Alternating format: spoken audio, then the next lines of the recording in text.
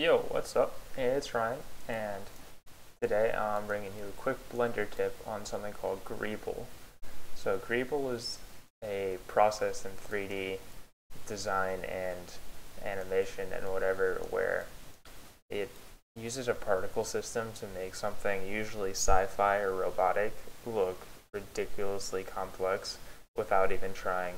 Um, you can see this in the Star Destroyer my bad. Should have had this pulled up. And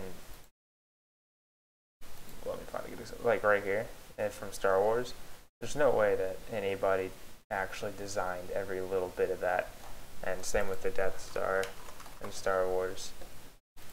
Like, there, there's just no way. So what they did is they can take squares and the light and the such like this and just make a bunch of different shapes of it. My bad.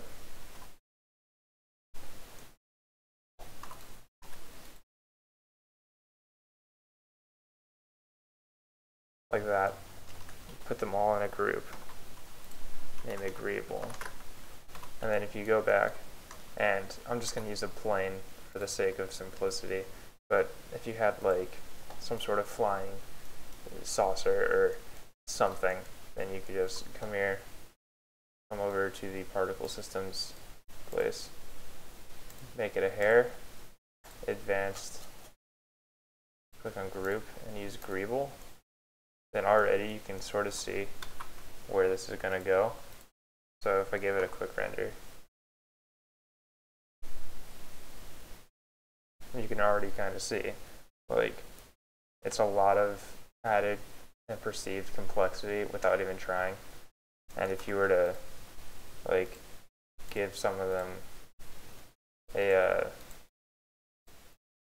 oh, they already have the same material. Um, like some displacements, like a texture, and then a, a checker texture, I guess, sure. Uh, probably have to unwrap. Sorry.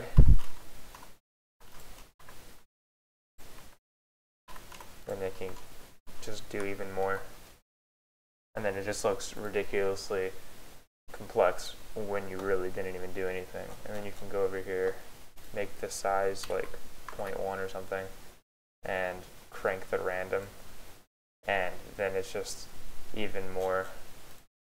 You can add more, make the hair length a little shorter and this is also a way you can make like fast cities. Like if you were to make three or four buildings or, or something you could just scatter them everywhere. Make the like the length the size super random. And then have like one giant tower in the middle to have be your focal point.